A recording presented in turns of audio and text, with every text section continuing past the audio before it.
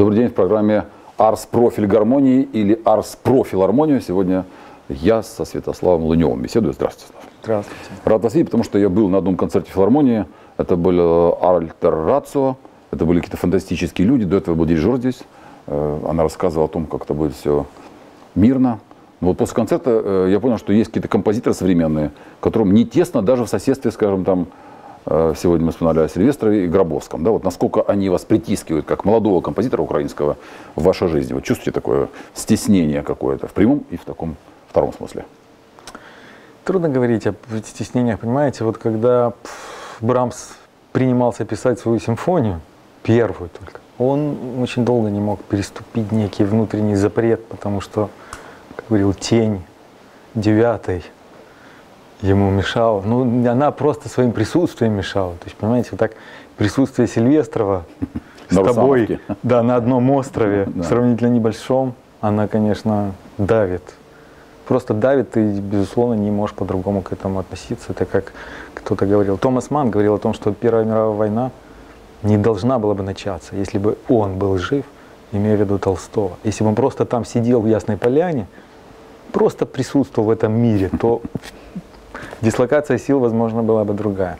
Хороший ход. Вы сразу меня э, по двум тропкам расходящимся этого сада, беседы наши э, как-то посылаете недалеко, я надеюсь, конечно, Томас Ман это доктор Фаустус и вся современная музыка уже после Адорна и Нововенцы, и сейчас о них тоже как-то вот не так часто вспоминают и еще реже слушают. А первая тропка, она даже как-то занятнее, ведь все-таки э, после девятой Бетховена, тут есть у меня такой знакомый хороший бас-баритон, говорит, ну вот в Японию съезжу, девяточку попою, и нормально что-то можно будет Дальше продохнуть, опять немножко Да. пожить. Да, пожить.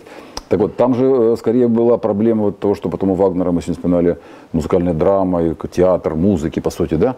А Брамс, он как-то вот пошел своим путем.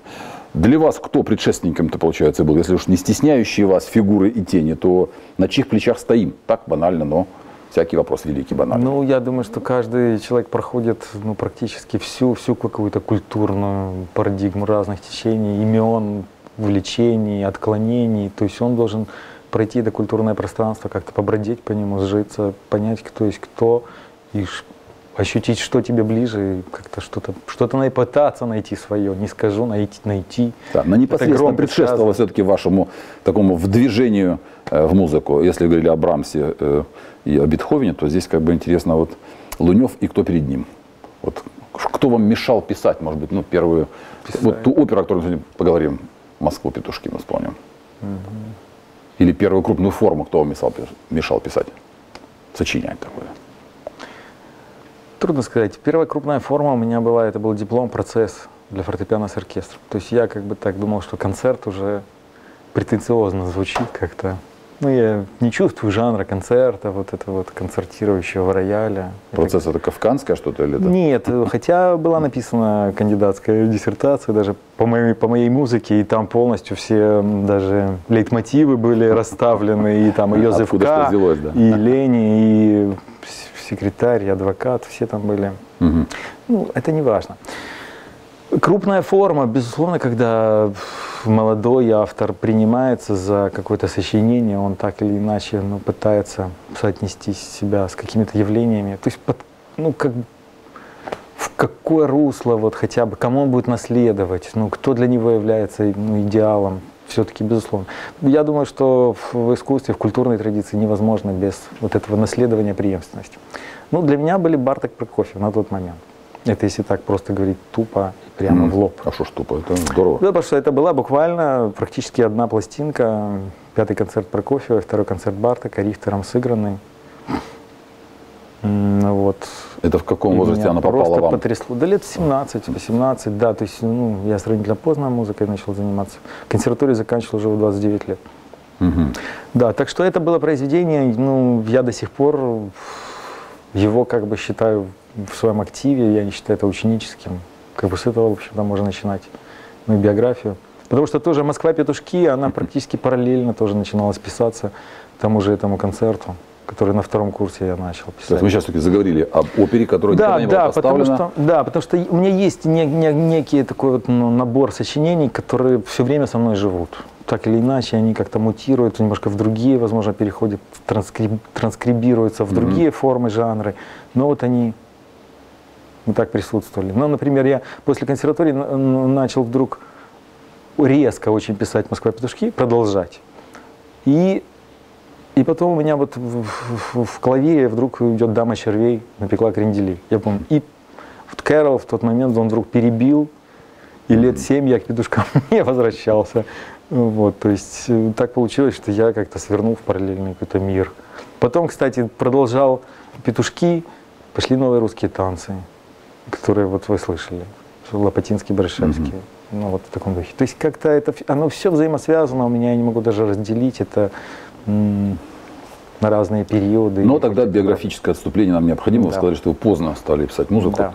но сразу как-то очень серьезно взяли за Венечку Ерофеева. Может быть, этому предшествовал какой-то опыт тоже сравнительно Да, опыт, опыт армейский, да. Я Армейский. считаю, что как бы, да, в принципе, вот один дирижер, тоже такой известный киевский дирижер, я с ним общался в тот момент достаточно близко, и были какие-то попытки проектов, и про Москва-петушки был разговор и так далее. Он, э, ну, так сказать, возли, возлияниями увлекался. И, и он говорил, ну как, ну что, а я, не, а я известен как практически трезвенник, ну как бы, да, то есть, ну для него, по крайней мере. Он говорил, ну как можно за эту тему браться? Не... Я говорю, ну для меня там это не главное абсолютно. Меня совершенно другие вопросы интересуют в Ерфееве, в таковом. Может, вы э, ездили сейчас на электричке там, в Киев откуда-то, из пригорода, может, у вас нет, родственники где-то? Да, родственники, у меня родственники есть, родственники есть э, в в Питере. А, в Питере. Ну, Далековато да, на электричке, но Да, да, ну это было, да, то есть, ну я ездил. Но тут много. дело не в шутках, а в том, что в самом деле, э, как это поставить, что для этого нужно? Для этого нужна группа людей фанатичная, желающих это сделать. Собственно, все. Пока ну, что я один так. Ну, ну два слова вот все-таки добрых мы должны сказать не только о Лопатинско-Барышевском, о них мы еще скажем, да, а да. об этом альтерация. Альтерация Ольга Приходько, да. Музыку. Вот а, что, Как вы с ними взаимодействие? Вы были там у истоков, вы сказали. Да, я, ну в каком смысле я у истоков? Ну, я там, могу сказать, что да. Из я одного истока ничего, Нет, я имею в виду, что я был у истоков, как бы я наблюдал их, как бы, можно сказать, зарождение. Mm-hmm. И вот с Ольгой мы познакомились, когда она еще была студенткой, ну там, предвыпускных каких-то, я уже не помню, четвертый или пятый курс, может быть, пятый. А, вот, и я этих всех ребят видел, как бы они готовили программы, я на всех ходил концерты, мне поразило вот совершенно удивительное какое-то ну, желание, желание и любовь к музыке, вот желание просто жить, жить музыкой, я не знаю, у всех очень разные биографии, у всех разные работы, и я проникся уважением вообще к дирижерам хоровика. Я их раньше считал, это значит, как рядовой. Ну, рядовой состав. Вот есть генералитет, есть там средний состав, младший лейтенантский какой-то, сержанты, а все остальные это вот дерхоровцы. Вот они бегают по коридорам, ну, 30 человек туда, 30 человек сюда, каждый день хор у них там, ну, практически по несколько часов. То есть, и как бы стертые личности. Но когда я вот увидел их сблизи, как они работают, как они музыку пропускают через себя, я совершенно был ну, поражен вот во, во всех смыслах этого слова. Mm-hmm. Это совершенно уникальный жизненный организм, я считаю, вот артист хора. Ну или ансамбля, особенно ансамбля. Конечно, хор, там нивелируются многие вещи, потому что ты, в общем-то, в партии в своей вписан, как там пятая скрипка третьего, ну, третий, четвертый пульт. Угу. Можешь в этой партии как бы время от времени покемарить, и тебя как бы ми, ну, минет чаша горькая. А тут каждый солист, каждый солист, каждый, и мне очень нравится, что каждый разнотембровый, каждый характер Ольга э, Приходько как руководитель, она уникально умеет распределять вот партии, то есть вот композитор не, не должен думать вообще, кто будет что петь, какие ноты. Это она делает все, то есть можно говорить о полноправном таком сотворчестве ее как соавторстве. Ну, тут же и самый это сложный вопрос здесь вот о современном звучании, о современном звучании голоса. То есть вот можно представить себе музыку, ну, как барочную, так с трудом, там, аутентичные инструменты, и как-то это звучит. Вот нам итальянцы тут подкидывали uh-huh, зрелище, uh-huh. конечно, впечатление, когда было филармония, кстати, замечательный концерт барочной музыки, приезжал состав, инструменты, все как положено. Можно там какую-то электронную там, добавить в жизни. А вот э, эти голоса, они звучали как-то ну, необыкновенно. Для меня это было, вот, я даже боюсь тех слов каких-то, ну, такое откровение, пусть будет осторожно. Э, а что для вас сегодня вот современный звук вообще, вот современное звучание? Вы добиваетесь этого? Потому что я немного прослушал сети, ну, понятно, Лопатинского, Барышевского, эти новые русские танцы, сейчас мы два слова скажем, mm-hmm. но подойти к этому как-то через какую-то, ну, вот, актуализацию, что ли, слова ужасное, все равно звука. Вот. Вы знаете, я честно скажу, что я об этом не, задум... ну, не думаю в тот момент, когда я пишу, но это правда. Я, я думаю, что большинство авторов не задумывается. Ну, то есть есть, очевидно, определенная группа людей, которые пишут своевременную музыку. Знаете, такая не современная, а своевременная. Вот они считают, что есть какие-то табели, какие-то правила, каноны, по которым создается вот актуальное искусство, современное, концептуальное и так далее. Вот то, что сейчас на слуху, то, что сейчас модно, то, что сейчас mm-hmm. в каких-то там в топах, и нужно этому ну, как-то наследовать. Все-таки я думаю, что ну, серьезному автору очень важно получить вот этот внутренний, как это называем, внутренний такой социальный заказ. Ты чувствуешь необходимость вот именно это сделать вот так – ну тогда уже в этих танцах новых Это русских само звучание да. было их вот как-то высылающее и в 90-е, и ну, да, это достаточно... к нынешним событиям тоже какое-то вдруг касательство Да, удивительная вещь, что есть такие как бы шутки на эту тему, ну, в плане, я думаю, что там где-то я слыхал, там, Кончаловский, какую-то тему, я сейчас не помню, как звон. Андрон? Да, Андрон. Брат? В том плане, да, ну, да. Ну и не художник Кончаловский, мы знаем, что вы, да, кстати, знаете художников, да вот, то Кончаловский говорил, что какую-то тему он хотел в кино, и ему говорили, да, Мандро, но это не актуально, сейчас не современно. Он говорит, я абсолютно, значит, я наоборот еще пару лет подожду, вот, и оно именно даже сработает. Ну, потому что, понимаете, вот внутреннее осознание одного человека, все остальное потом, все остальные подтянутся. Mm-hmm. Знаете, как Шонберг говорил своим ученикам, что законы развития гениальной натуры есть суть законов развития будущего человечества. Ну, то есть он всегда ставил, что кто-то один Хорошо. человек, он, он просто постулирует, он создает действительно этот ландшафт, который потом люди обживают, населяют, ну или не населяют. Но в любом случае он должен что-то рискнуть. И, и в этом смысле вы чувствуете какое-то свое призвание – да, то есть я думаю, что даже старомодное, некое старомодное, модерн, постмодерн, ретро, все имеет право на существование. Никто не скажет, что это, например, ну, сейчас а, отсылает, поэтому оно не модно.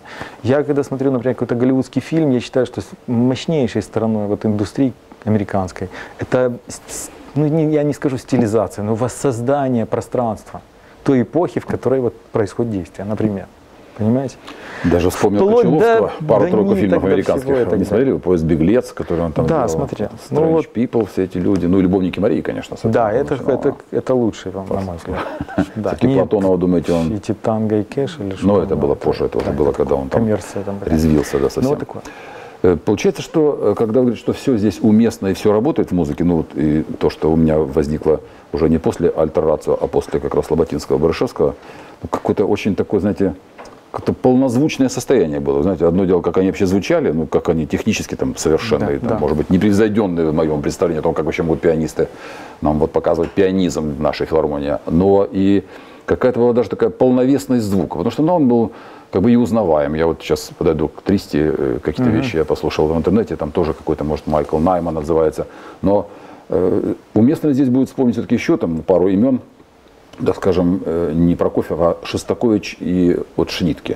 То есть люди, ну, у позднего Шостаковича точно, я, конечно, совершенно в этом смысле такой даже воинствующий дилетант, но иногда что-то слушаешь в этой жизни, знаете, которая вся ушла на рок-н-ролл, и вдруг что-то раз и звучит, и ты понимаешь, что, что надо было это слушать, но нет, уже поздно. ну когда слушаешь там Кориолан, Эгман, ты понимаешь, что это нет противоречия между, ты можешь быть рокером преклонных годов, правда?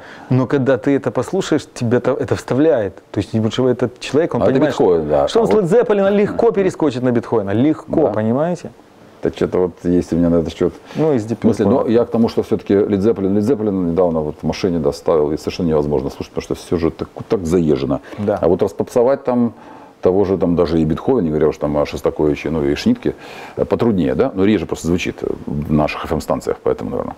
Вот с этими двумя фигурами, которые тоже, ну, скажем, особенно э, Шнитке, э, такая, может быть, ужасная пословица там с мира по нитке музыка шнитки, да, да, повторяю, не критически, наверное, там условия из каких-то этих передач. Шнитки есть такой еще вариант. Но когда вот эта радикальная эклектика, если можно сказать, да, вот когда отовсюду эти э, звуки доходят, и этот звук становится в каком-то таком, в упаковке даже, так страшно сказать, э, композитора современным звуком. Можно сказать так? Или тут все-таки Можно, но я, посложнее? видите, тоже к, к Шнитке, ну, у меня особенное отношение. Я его очень-очень любил, как бы потом как-то разлюбил. Угу. Просто мне показалось, что у него достаточно, ну, однообразный, скажем, ну не скажем не однообразный, но узкий спектр э, технических выразительных средств. То есть у него основная, основная, основной метод, что ли, композиционный, это, ну скажем так, деформация и деструкция материи.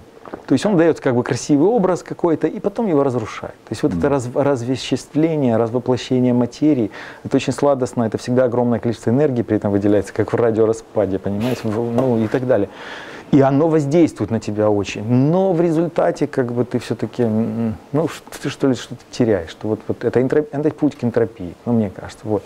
С другой стороны, например, тоже Прокофьева, которая любил, это, мне кажется, противоположный. Mm-hmm. Это абсолютно психически здоровый, какой-то вот радостный, мускульный.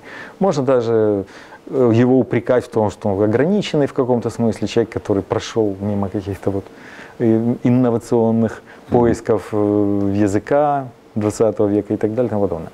Но он сохранил некий здоровый этот, ну, до того, как вернулся в Советский Союз, я имею в виду.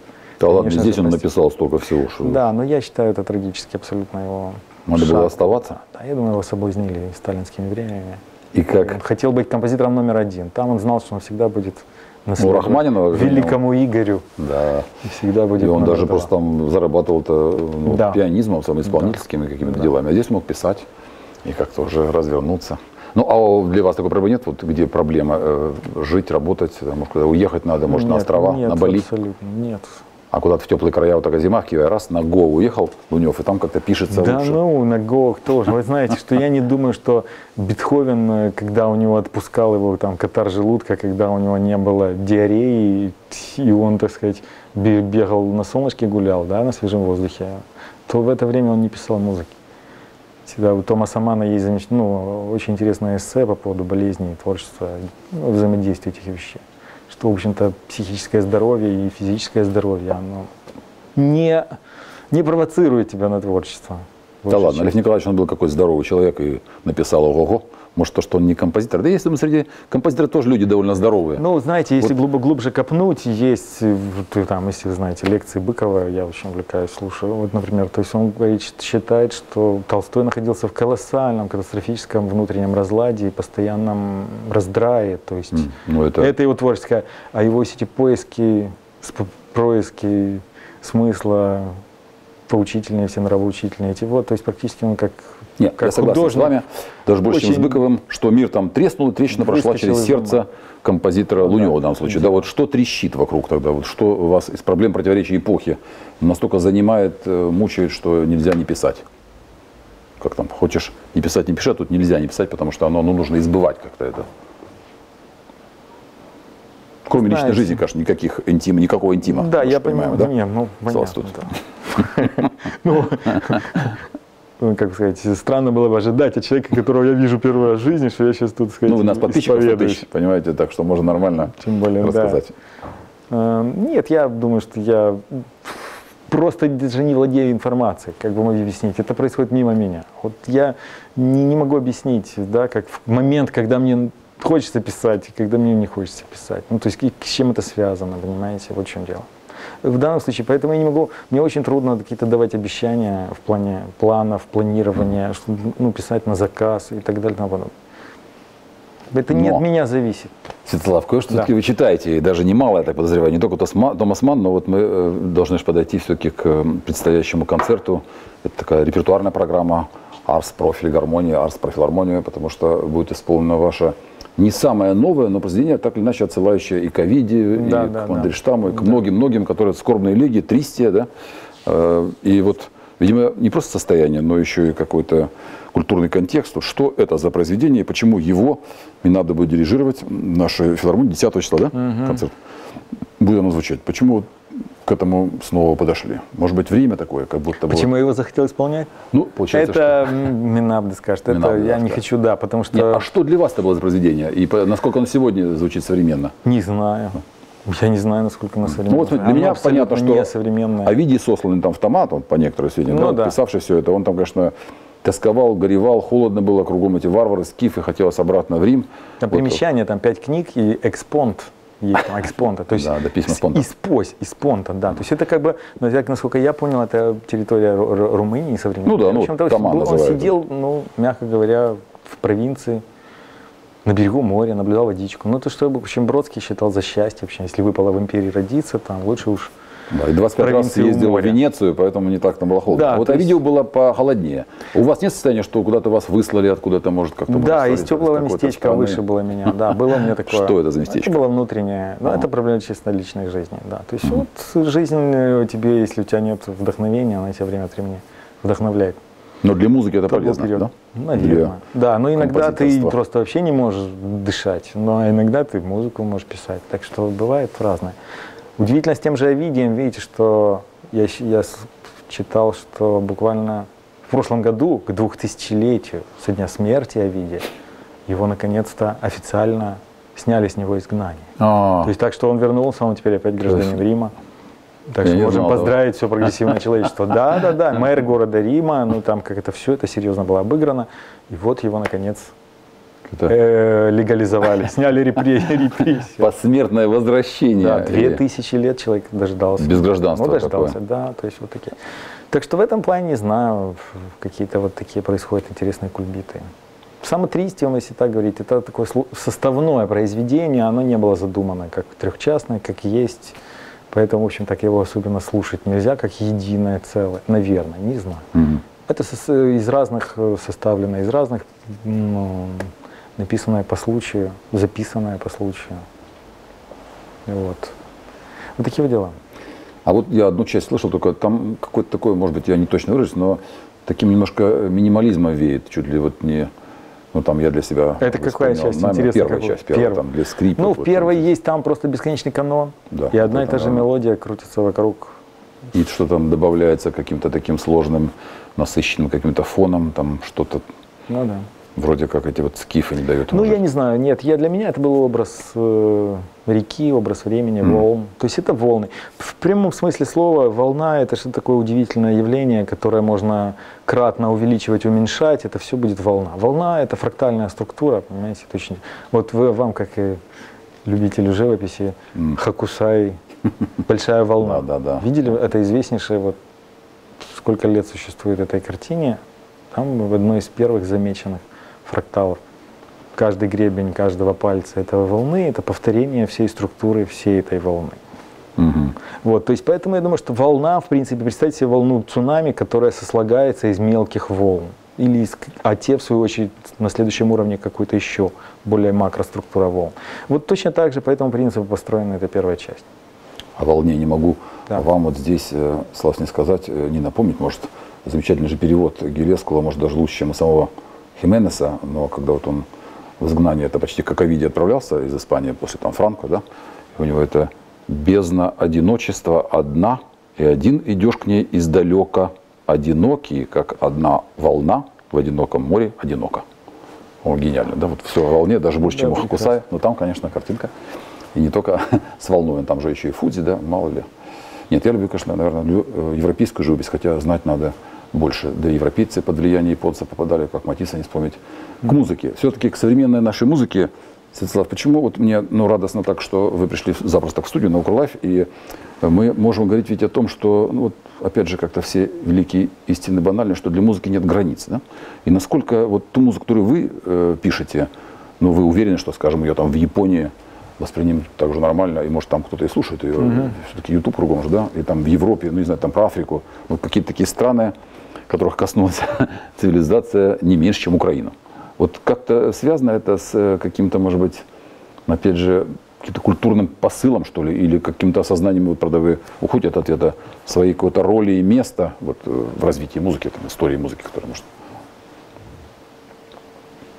Кто-то идеальный слушатель, кому это адресовано, в конце концов. Ну, знаете, это же известно, это тоже хохма. Бродский ушел от этого вопрос, для кто его, для кого он пишет и так далее, Мгм. знаете. Он, и он, кстати, Игоря Федоровича привел тут же, как щит поставил, для себя и воображающего альтерлега. Ну, как бы, да, вот, ну, как бы не то, что лучше не скажешь, но как бы по-другому и не скажешь. То есть рано или поздно, если ты начнешь, ну, какое-то другое построение, то если его так чуть-чуть, чуть-чуть Мгм. уточнить, то ты и придешь к этой формулировке все равно. Это как иероглиф Пикассо, знаете, как он серию бык, быка рисовал, рисовал. Да, в да, конце да. вот пришел все равно это кузнечик с двумя усиками, понимаете, на голове. Хороший, вот да. все, и он вернулся опять к вот этим наскальным рисункам, да, то есть минуя десятки тысяч лет. Вот, собственно, и все. А для чего пишет, для чего это автор? Ну, просто он не может действительно. Ему ну, какой-то у него зуд, зуд, знаете, да? Зуд седьмого года или как это называется. Вот. Но он испытывает потребность. Это существо, художник, я думаю, в каком-то смысле. Он просто, ну, действительно, у него еще, необх... еще одна потребность относительно обмена веществ. Он должен нечто еще продуцировать. Кроме того, что потреблять, как все остальные люди, допустим, они умеют потреблять неплохо, он тоже это как бы делает время от времени. Но еще ему для жизнеобеспечения его функции организма необходимо что продуцировать. Как ему думать о том, кто это, кто будет конечный адресат того, что он продуцирует, ну, то он будет в положении вот этого грека, который не знал бороду поверх одеяла класть или вниз, ну, чтобы уснуть, как, как он это делает на самом деле. Понимаете, если человек начнет об этом думать, все, он остановится вообще, мне кажется, в своем развитии каком-то. Ну, в этом вопросе моем, кажется, таком путанном и таком зачем Ну, и в моем путанном ответе нет, тогда. Нет, хорошо, хорошо. Мне понятен ответ, и он как бы такой четкий, но все-таки вы задумывались о вообще э, роли искусства в современной жизни нашего общества. Вы говорят, что там, ну, не все же хоть филармонию, вот чему хочется всех туда послать. Понимаете, да, я не знаю, я не знаю. Я думаю, что это, ну, это все равно рефлексия, рефлексия общества. Но художник, да, это как бы некий заложник общественной какой-то формации, ну, какой-то ну, он находится в эпицентре, да, вот эта трещина, которая прошла, не прошла трещина, неважно. Он в эпицентре, он какой-то резонансный пробой, через кого-то он проходит, он, да, как бы током кого-то бьет, там, крайнего, ну, крайнего бьет, цепь выстроена была. Ударила его от крайнего, он что-то упал или не упал, ну, или сумел как-то триггерировать. Но осмысление того, что происходит, он нуждается в том, что, как это сказать, он должен это изложить. Изложить. Он должен проанализировать, что отрефлектировать и как-то изложить языком доступного его искусства. Изобразительного ли, вербального ли, музыкального ли, там какого-то еще, не знаю, ли. Вот, то есть, по, по большому счету, я думаю, что вообще культура как таковая, вот, как бы мое глубокое убеждение, потому что это письма человечества самому себе. Это такое, это маленькие такие напоминалки, знаете, как на холодильнике бумажки себе вешаешь, Хоть не забыть сделать это, не забыть это сделать, покормить рыбок, там, вывести. Не забыть, кошку. Хорошо. Самих себя не забыть. Не забыть. Да, потому что у человека жизнь такая быстротечная, у тебя мысль а пришла, но она ушла тут же. А чтобы не забыть, ты ее потиснул. Вот, то есть идея какая? Тебе каждый вечер стирают, как в это, как это называется, про люди в черном. Внимание, сейчас будет небольшая проверка зрения. И ты каждый вечер на боковую отправляясь, часть твоих жизненных интересов, жизненных устремлений, она аннулируется. Ты утром встаешь, у тебя уже график не такой горячий, не такой острый. Вот чтобы этого не забыть, ты пытаешься это собрать в баночку, отложить. Ну, на, на, накопить. В течение недельки ты накапливаешь вот эти впечатления. Потом так происходит в течение всей твоей жизни. Ты это все продуцируешь, как-то складируешь. Вот эта жарочка у вас стоит, вот так у меня стоит, ну, где-то в сознании, отложенная. Человечество обновилось, поколение прошло, следующее поколение, хоп, пришло на полочку. Только научились читать, писать. И Бетховен стоит. Га, да, играть гаммы. Тянется ручка к Баху, Бетховену, и, и опять бегом всю историю человечества мы опять экстерном сдаем, правильно, за ДМШ, училище, консерваторию. И дальше ты опять оказываешься перед бесконечной пустыней непознанного, необъятного. И пытаешься рефлексировать, отрефлексировать, отанализировать, отпродуцировать, отфункционировать каким-то образом. Вот, собственно, и все. Так Очень что, мне это, это как-то вот понятно, может, по-своему, что я бы еще так усилил, не забыть незабвенное. Кое-что, может, и надо забыть, потому что как-то ну, и да, забыть не, забыть не значит потерять, но да, окончательно да. принять в себя на дно души, да. Волошина. Но вот то, что нельзя забывать, это вот должно замечательная оставаться. фраза Валентина Васильевича Сильвестрова о том, что как-то я вот при том, что я же говорю, с ним практически не общался. Но какие-то отдельные доносящиеся голоса из-за стенки, по радио причем услышанные. Он где-то сказал, почему композиторы пишут музыку? Потому что жалко забыть. Знаете, вот, то есть не потому, что там утрачено джазовое или там народное музицирование, вот эта устная традиция, где люди вот просто в потоке что-то там они, ну, в музыкальной, модальной какой-то технике они живут, там раги, мугамы там и так далее. А тут вдруг какая-то авторская концепция, авторская конфигурация, вот почему-то она именно ценная вот в такой комбинации, а не в какой другой. Некие уникальные снежинки, чем они уникальнее, чем соседние миллион, миллионы снежинок никто не может сказать. Но вот они почему-то тебе жал- жалко их забыть, понимаете? И ты их протоколируешь. Все, кто найдет, того будет. Ну, или кто сумеет восхититься, он тоже это обретет. Как-то мы а всё- нет, забудем так же, как и все остальное. К какому-то прямо дзен-буддизму мы все куда стремимся, когда еще вот последний шаг это акварелью писать по воде. Да. И там вот да. такая, что Это мне образ тоже очень, же, очень да. нравился. Да, хок, хоку, вот эти действительно конкурсы хоку. Мгм. А у меня стоит вот на Писать, полочке тоненький, маленький Исикава Такубоко, который тоже ведь недолго пожил, а так вот хорошие у него эти пятистишие это были. Слав, все-таки Да. вот я э, понимаю, что живя в Киеве, сейчас мы уже как бы подходим к какому-то к финалу, да, э, нет-нет, да и приходится вам встречаться с публикой, не только вот там с интервьюерами, да, а вот с публикой.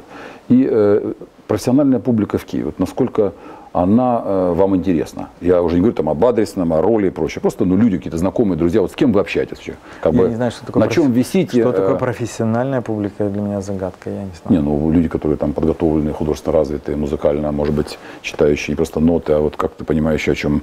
Вот мы о Жене Громове вспоминали замечательно. Я бы только о Громове вспомнил. Я Шостакович. О Шостаковиче вы не сказали. Вот вам он не так, как Шнитке, но как, если говорить о предшествующих не кумирах, которые вот и не сотворить себе, понятно, но все-таки э, горы, горы. Не, эти. ну это уникальная фигура, как, как бы сейчас не относиться к нему, и я отдаю себе отчет, что ты великий, великий, великий музыкант, великий композитор, да, то есть тоже заложник эпохи, ну, как и многие. Вы А, много слушали и есть, слушаете? ну, сейчас нет, абсолютно его не слушаю. Мне всегда казалось, что, ну, то есть, как, как- когда я закрыл тему с Шостаковичем, понял, что это не как головная боль, которая мне не нужна. Ну, она мне не нужна. А Уствольская, вот если уж Ну, это другого рода головная боль. Головная боль другого рода, более концентр- концентрированная и что ли, м, а, трудно сказать, более какая-то более жуткая, более страшная, она тебя проталкивает куда-то. В том плане, что Шостакович это, ну, это такое действительно методичное какое-то вот такое насилие. Ну, потому что он его испытывал, он жил, он его изживал, вот это все Мгм. понятно. То есть даже я помню очень хорошо, что у меня была пластинка, я не буду говорить, ну, как квартет и квинтет, скажем, пусть будет, там, Бородинцы и Насеткин. Седьмой квартет и фортепианный квинтет. И я очень хорошо помню, что я вот слушал, слушал, и мне страшно захотелось разбить эту пластину. Ну, просто какая-то вот ненависть возникает вот к этого рода музыке. Я не знаю, она, она действительно вызывает вот какую-то реакцию. Я не, не представляю человек, который может спокойно к этому относиться, но мне кажется, он то лишен каких-то рецепторов, он просто не, не, не серьезно слушает Шостаковича, вот если. Ну и 14 симфония. Вот, но ну, очень много вокруг и связано, понимаете, то, что, то, что Шостакович был атеистом, ну, то, что он в 14 симфонии замыслил как антиреквием, о том, что он говорил о том, что он говорил, что прямой адреса, ад- не адресат, а прямой идеал был для него песни и пляски Мусорского, единственное произведение, на которое он сказать, мог равняться. Ну, еще упоминал Бриттона военный реквием, вот, которому, собственно, и посвятил. Ну, я имею в виду, Бриттона посвятил это произведение. И все там мы- мысли о смерти собранные, ну вот они, они не дают ни выхода, ни преодоления, ни примирения человека, ни с мирозданием. ни так. Ну, то есть то, что уже великие люди до него про- прожили и жили. Например, тот же Бах или Гайден, Моцарт. Огромное количество музыки, огромное количество образов смерти. У Баху влюбиться было, столько детей, и жена Анна Магдалена, и все вокруг играют, и церковка недалеко, ну и Ну, ритмы. такое дело. И все. Нет, я хотел сказать, что ну, Да. Толстой это даже нашел в смерти Ивана Ильича как бы там форму какого-то примирения. И вопрос еще настолько ли она религиозная, или она имеет отношение к тому, вот мимо чего мы сегодня прошли, конечно, сознательно, э, к исповеди какой-то, к вопросам самому себе. Наверное же, когда вы говорите, что музыка и э, композиторская деятельность – это главное э, сосредоточение на том, что нельзя забыть, на незабвенном, то, наверное, это еще и всегда какая-то исповедь самому себе, да? Да. Как там, ну, понятно, Марк Аврелий, и почему Марк? Кто там? Августин Блаженный же Августин, исповедь, да. да. Ну, и, и Толстого я вспомнил себе. И э, переходя, ну, спасибо, кстати, за э, вот такую коротко, но Шостаковичу очень важные вещи. Переходя к Евгению Громову, как профессиональному Да. в общем, исполнителю, блестящему профессиональному нашему другу. Слушателю. Мы говорили о конечно, слушателях, да. мы Нет, отвлеклись. публике, конечно, помню. Вот, э, эта публика в Киеве или где-то в мире, или вот вообще она нужна ли она вам, или как-то мы уже ее пропустим? Ну, Женя нам нужен, понятно, без него никак. Сегодня, может, он придет ко мне в гости, а Конечно, что бы делали, если лишь, а и Гробовского придет опять. А другие вот люди, которые, ну, как-то вот они тянутся к вам э, на произведенческом уровне вначале, а потом знакомятся лично, вот как я сегодня, э, чтобы поговорить Насколько э, с их стороны бывают умные вопросы какие-то, или вообще как-то общение с ними вас развлекает, или даже, может быть, э, может унежить душу, как там говорил? Трудно сказать. Иногда, иногда бывает, иногда какие-то мысли. Ну, как из любого общения. Ты иногда понимаешь, что там, ну, ты пошел в компанию какую-то, где общался. А там слушают вашу не музыку? извел. Нет, вот Не они извел. все фанаты вашей музыки. Такое было? Нет. У меня Пока. нет фанатов. Ну, наверное. Ну, не знаю. если исполняют и, и там, и там, и везде, и вот будет звучать десятого, значит, они есть. Все-таки профессиональная публика, это, получается, такой фантом какой-то, да? Нет, ну профессиональная публика, она безусловно есть, но она как бы по определению должна быть как бы всеядна. Понимаете, люди, которые ходят в, по ресторанам, например. Люди, они могут составить себе мнение о том, какое меню, где, в каком ресторане, они могут вам изложить. Не знаю, назвать их профессиональными гурманами, нет, но они просто, в, они в курсе. Они в курсе. есть где- вкус, У да? них есть вкус, Суждение да. вкуса. У них есть вкус. раз- достаточно большое количество людей, которые пытаются, пытаются, ну, не общепитом уже сейчас нет, ну, фастфудом там или дома. Они не знают как бы даже о чем речь. У них есть, конечно, свои вкусы, пристрастия, они говорят. Они... Картошка жареная, Да, прекрасно. То есть их вполне каша полезная же с утра. Или что, то, что полезно, да, то, что, ну и так далее.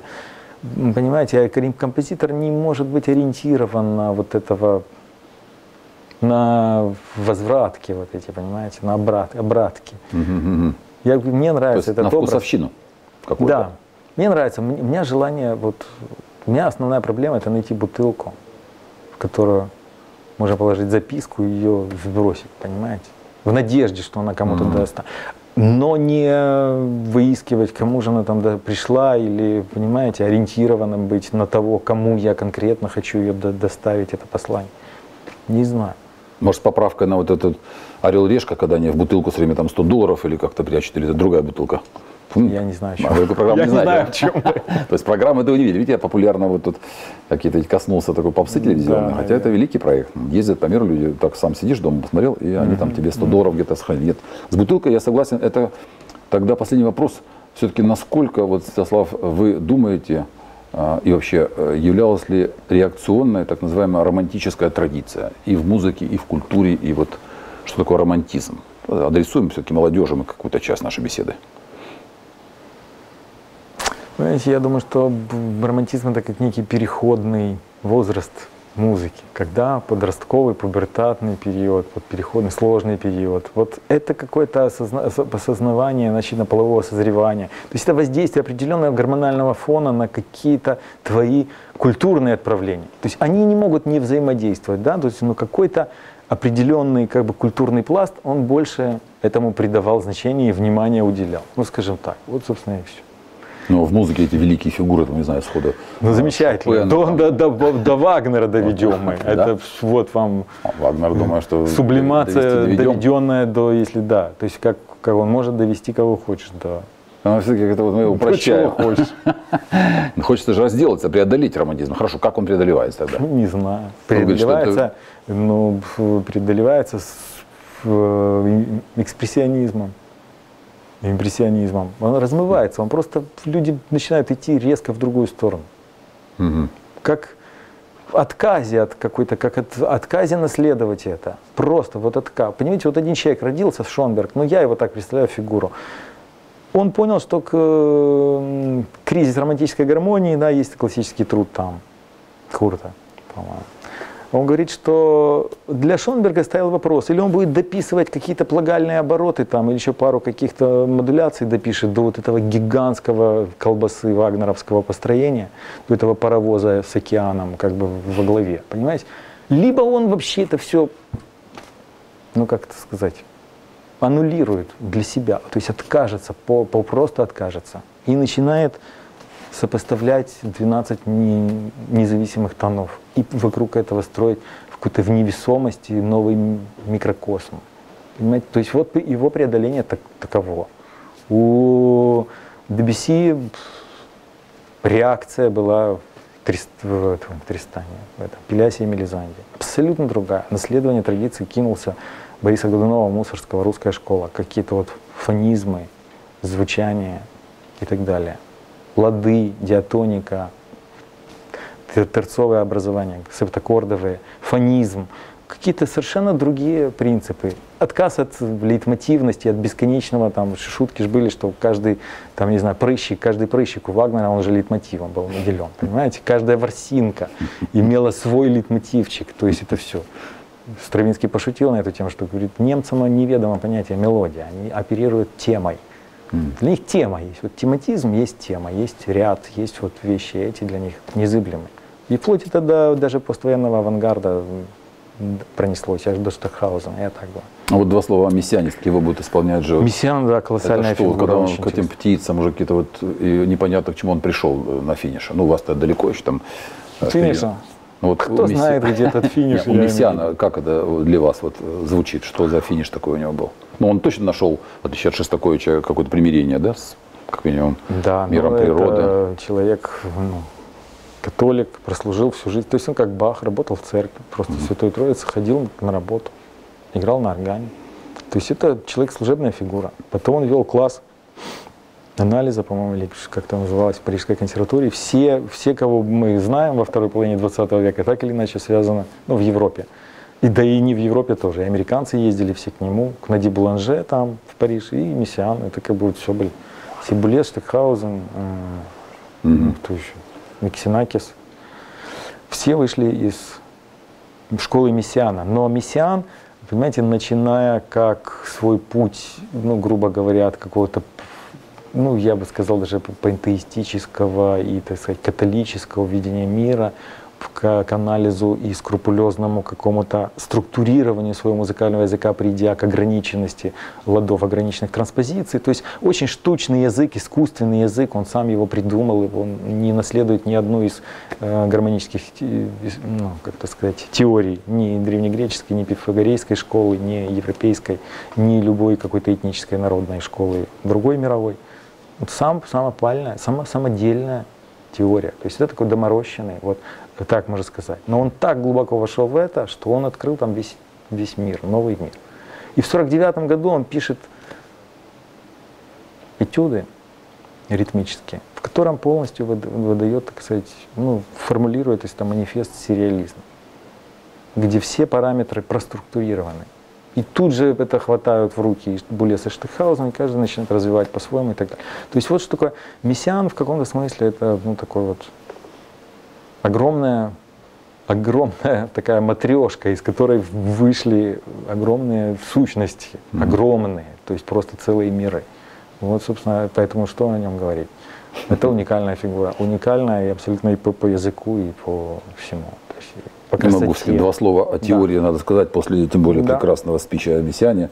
Ну, надо бы добавить, конечно, еще вот его этот опыт личные страдания, там лагерь и прочее, но это мы Да. пропустим тоже, да? Да. Но вот когда э, пытаешься... Ну, лагерь лагерю рознь, это уж поправки. Да, Кто его знает, в каком он лагере. Сидел, да, говорят, что Да. не так сурово, но все равно это опыт же. Представить себе, да, это понимал. описанные в другой литературной Да, да, да. традиции, Ну, да, и свидетелями. Трудно представить, чтобы там Шаламова не будем трогать. Ну, это, скорее, это лагерь другой тоже. Да, да, другой лагерь. Но с теорией, вот такой постскриптум, да, я понимаю, что ну, как-то нет ничего практичнее хорошей теории, не знаю, как это для композиторов э, актуально, но вот мы там пытаемся читать всю жизнь э, какие-то классические философские произведения и не дочитываем там. Я список кораблей дочел до, До середины. середины, а тут даже в начале где-то какой-нибудь там феноменологии духа ты остываешь, На в отличие от. Геннадия Гора, который дочитал там время блокады ленинградской, и потом пять углов написал, понимаешь, что ну не дается, не выходит все это. Вот есть такой человек Асафьев, да, который там был, понятно, известен всем, и его э, теория интонации. Насколько это вот можно использовать, насколько это вообще близко вам, и как вы к этому относитесь? Ой, трудно сказать. Никогда не прочитал его ни музыкальная форма как процесс, ни вот эту теорию интонации. Ничего не могу сказать. Ну, Вблизи не видел, да. просто это- Э, Как бы очень многие вещи в связи с Прокофьем, все, что я знал об Асафье, у меня это вызвало негативную как бы А отношение. Прокофьев с Асафьевым, Ну они да, там нет, вроде... нет, ну как бы они дружили, да, но я Дружили. имею в виду и Стравинский с Исафьевым находился в каких-то отношениях и так далее. Там. Дело не в этом. Мне кажется, что вот э, совершенно другой взгляд на, эм, ну это можно сказать не проблематика интонации, но проблема вообще музыкального э, взгляда на музыкальную материю, которая родилась, как бы можно сказать, разродилась в начале 20 века, это есть сосуществование отдельно взятых тонов. Действительно, то, что нововенцы ввели в обиход.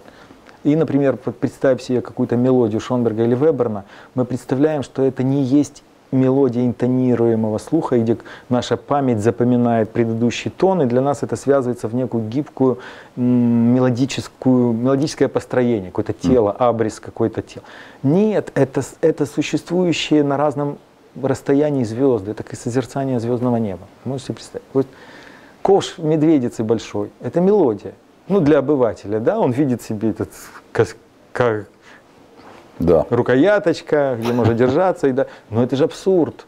Мы понимаем, что эти звезды, они находятся в, на таком расстоянии, в, в совершенно других пространствах, в других плоскостях, в других галактиках. Ну, я сейчас не сильно владею как бы терминологией, да, но я думаю, что это абсолютно ведь, это не одна плоскость.